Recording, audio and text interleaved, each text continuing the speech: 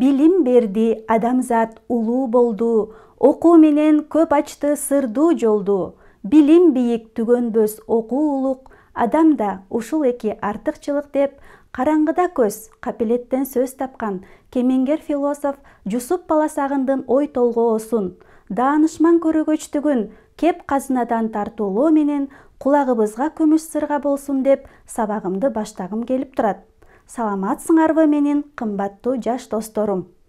Өзү топтой тоголок бир жарк этип көзгө жакшы көрүнөт. Колун сунса жылуулуктун символу жанып турат ууртунда жылмаюу маңдайы жазы көргөн көзгө тоголок кана тапкын кандай сырдуу бул сүрөт таарынышып калсак кокус капыстан келет бизге тоголонуп алыстан кана балдар маанайыбыз жакшыбы сабактын жүрүшүндө дал ушундай маанайда болушуңарга тилектешмин анда сабагыбызды баштайлы. Бүгүнкү сабагыбыздын темасы сүрөттөө боюнча жалпы маалымат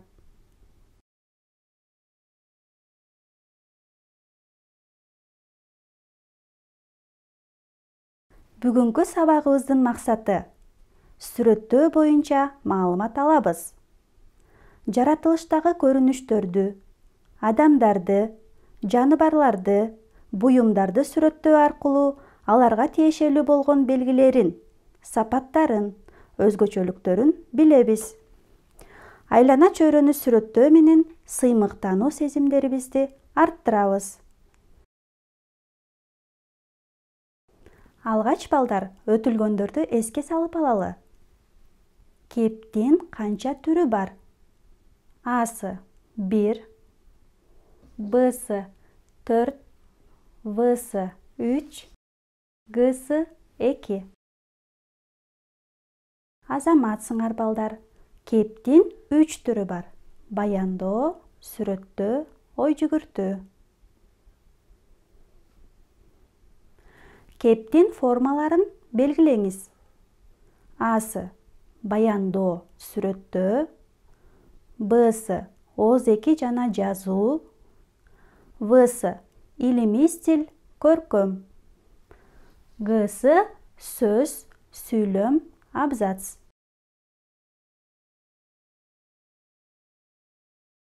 Азаматсыңар. Туура жообу б. Ооз эки жана жазуу балдар. Кийинки мультитасмага көңүлүбүздү бурабыз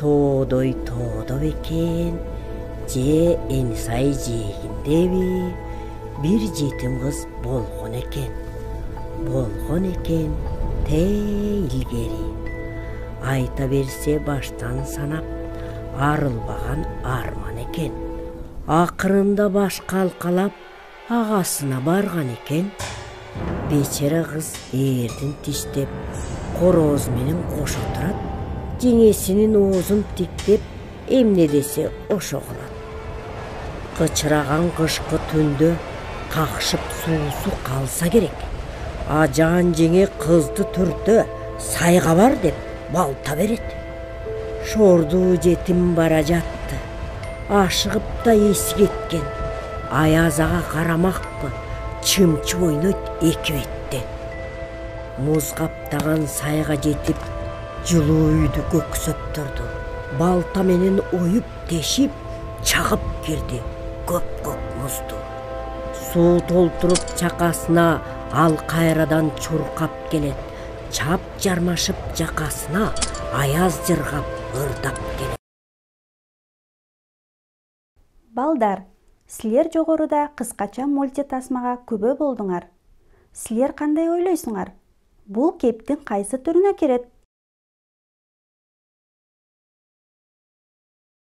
азаматсыңар балдар. Силер туура таптыңар. Бул баяндоо. Сүрөттөө заттын белгилерин ачып көрсөтүүчү кептин бир түрү. Мында жаратылыштагы көрүнүштөрдү. Адамдарды жаныбарларды буюмдарды жана башкаларды сүрөттөөдөн аларга тиешелүү болгон белгилер сапаттар өзгөчөлүктөр көрсөтүлөт.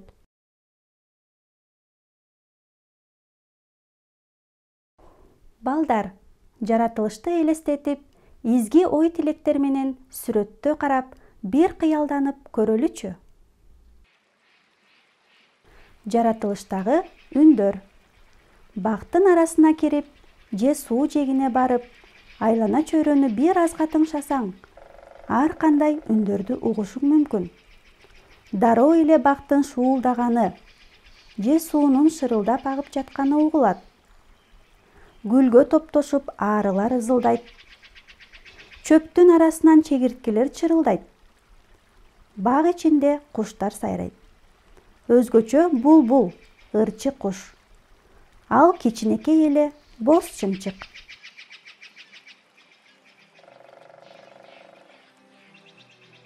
кана балдар бул текстте кептин кайсы түрү берилген? Азаматсыңар сүрөттө бул быйтыкча силер үчүн. Баяндоо аңгеме жомок уламыштарда адабий чыгармаларда пайдаланылса ал эми кептин сүрөттөө түрүндө мазмуну окуясы сюжети жок болот. Предмет көрүнүш айлана чөйрө пейзаждын белгилери касиеттери сапаттары көркөм сүрөттөлөт. Мисалы күн кечкирип бара жатат. Аялдамада эл толтура. Бир сааттан бери автобус жок. Тыныгуу мезгили болсо керек. Шашкан адамдар улам саатын карап тынчсызданышууда аңгыча аба барган сайын муздап кар себелей баштады. Тез эле теребелди аппак кар каптады. Шашкандар автобустан үмүтүн үзүшүп ак карды жирей жөө жөнөштү. Балдар силер билесиңерби сүрөттөөнү ар тармакта кароого болот. Мисалы поэзияда кыргыз адабиятында турар кожомбердиевдин поэзиясынын тематикасы абдан бай. Акындын чыныгы сүрөткерлик поэтикалык дүйнөсү аркылуу көркөм чагылышка ээ болгон чыгармалары жок эмес. Мисалы төмөнкү эне жана коломто ырын кунт коюп угуп талдап көрөлүчү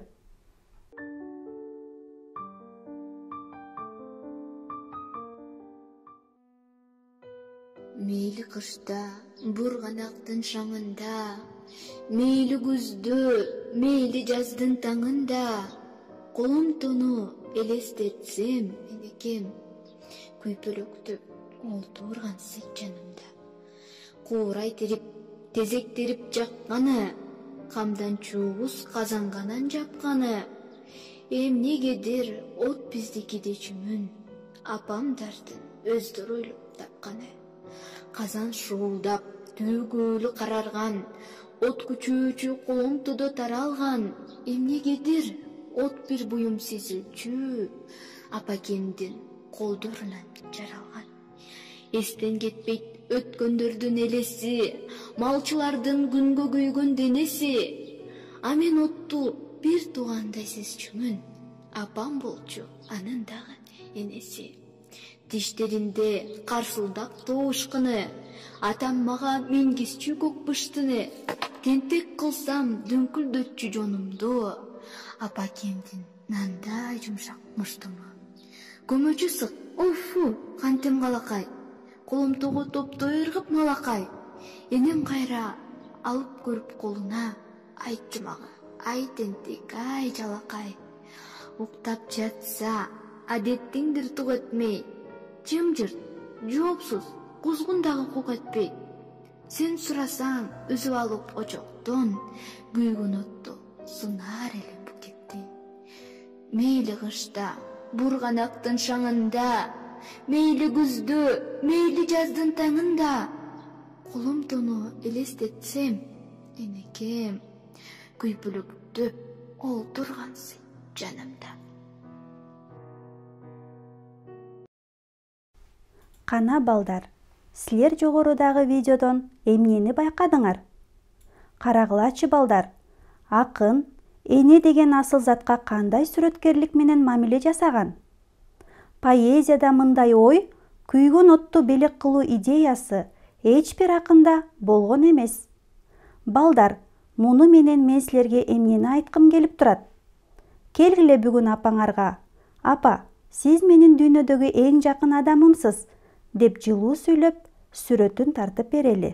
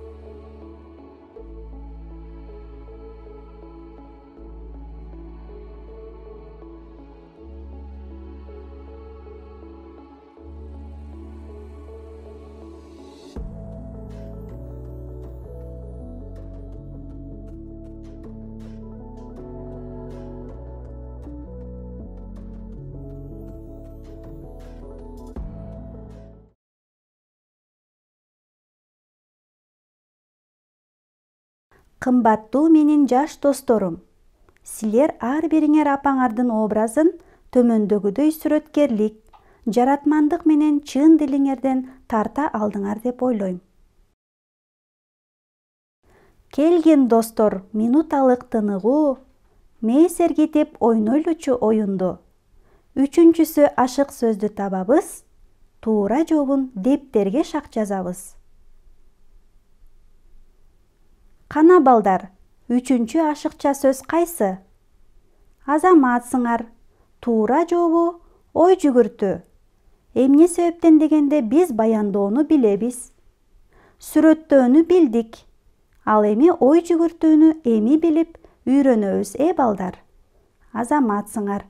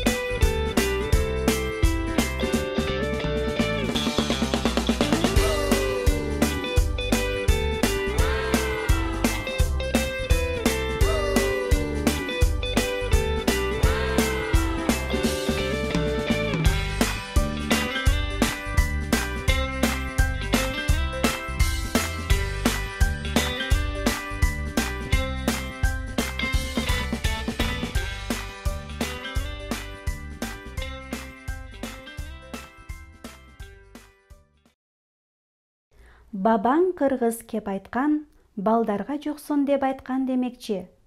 Биз бүгүн балдар силер менен сүрөттөө жөнүндө сөз кылуудабыз.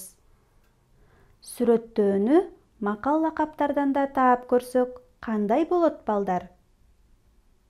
Экранды карап макалдарды окуп эске сактайбыз. Батар күндүн атаар таңы бар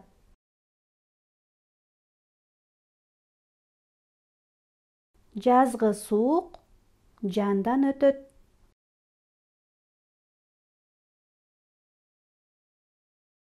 Коен көлөкөсүнөн коркот.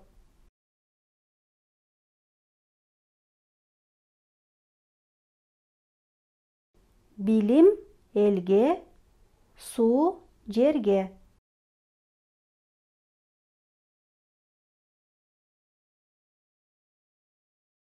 дайранын көркү кемеде баланын көркү энеде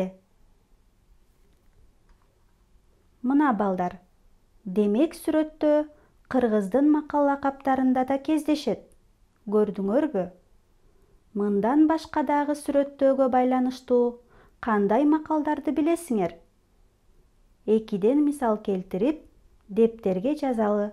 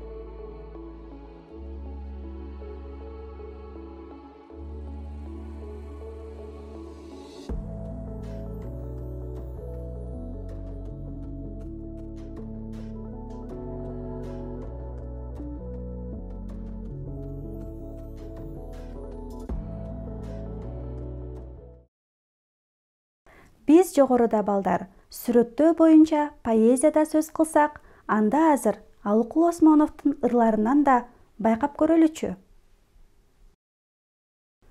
Тоого тоолор курамалап курашып узун тартып уламалап улашып алда кайдан кебес тартып келаткан кербенчинин төөлөрүндөй чубашып.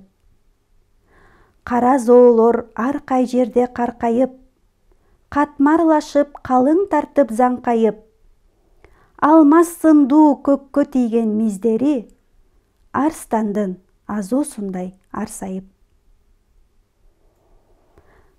Карагылачы балдар кандай гана керемет сүрөттөө жаратылыштын ажайып кооздугун эмнелерге гана салыштырып окшоштурган жок. Силер дагы өз чыгармачылыгыңарды арттырып жаратылыш тууралуу төрт сапыр жаратып көргүлөчү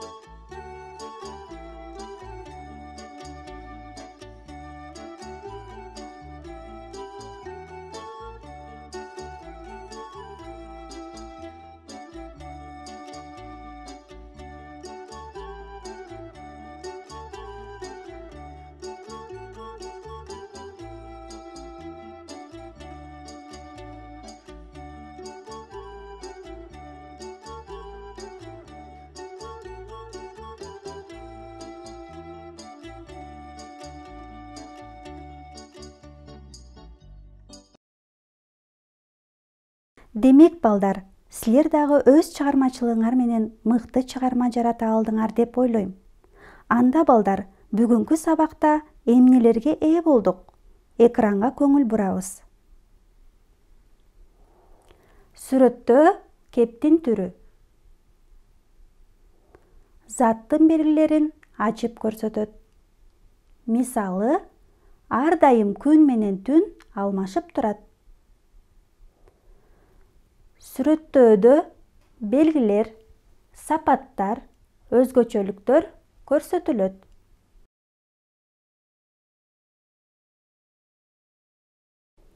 Балдар үйдөн ак кемедеги буга энени сүрөттөп элестетүү менен сүрөт тартабыз. Өз алдынча иштейбиз